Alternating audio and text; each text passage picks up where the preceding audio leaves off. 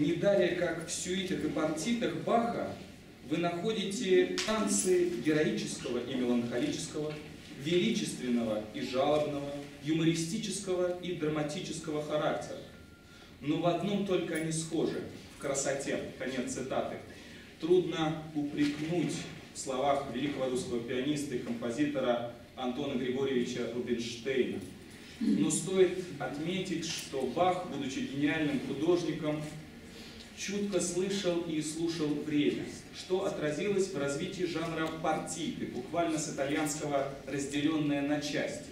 Это вид инструментальной танцевальной сюиты, где Бах дает развернутую вступительную часть, фантазию или увертюру, например, а также включает вставные, так называемые дивертисментные номера, которые призваны оттенить характер и настрой других танцев, основных частей цикла, тем самым привнося некоторую театральность.